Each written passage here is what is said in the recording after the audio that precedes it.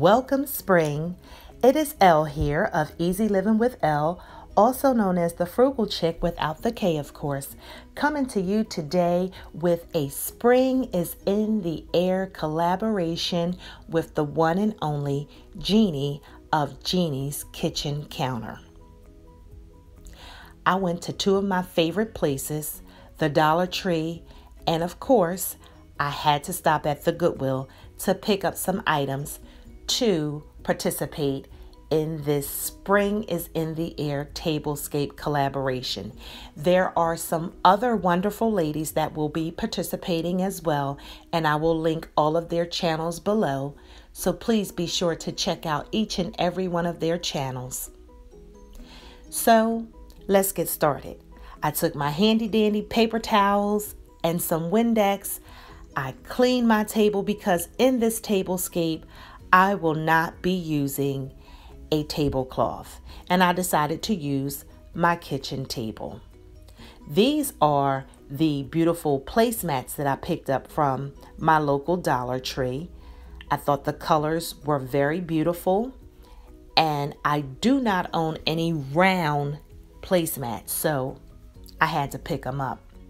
Next up is a set of seven acrylic plates that I picked up from my local Goodwill. So I'm going to go ahead and get started with how I, you know, completed the tablescape. So all I did was I put the placemats down. I also uh, picked up this beautiful yellow water drop rose bouquet from my local Goodwill as well. After I put the placemats down, I went ahead and put the acrylic plates down. I set my uh, uh, fork and knife, and I had some glass stemware from the Dollar Tree that I, I already had, and I placed it on my table. And with that seventh plate, I actually sat it in the middle and placed that rose bouquet right on top and I used that for my little centerpiece. And I was so pleased with the way that this uh, tablescape turned out. It was very simple, it was very quick, and I thought it was really beautiful. And it only cost me $9. $6 for the placemats and $3 for the seven piece acrylic plate set that I purchased from my local Goodwill. And I really, really love this rose bouquet. I want to say I paid about $3 for that and I've had that for quite some time. You guys know if you follow me here on YouTube or Instagram that I am a avid Goodwill shopper. So I'm always in the Goodwill two, three times a week.